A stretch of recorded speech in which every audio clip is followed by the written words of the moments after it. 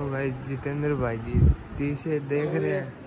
और इनकी जचरी भी नहीं है पैसे भी नहीं है दोनों चीज़ तीनों चीज़ हो रही है।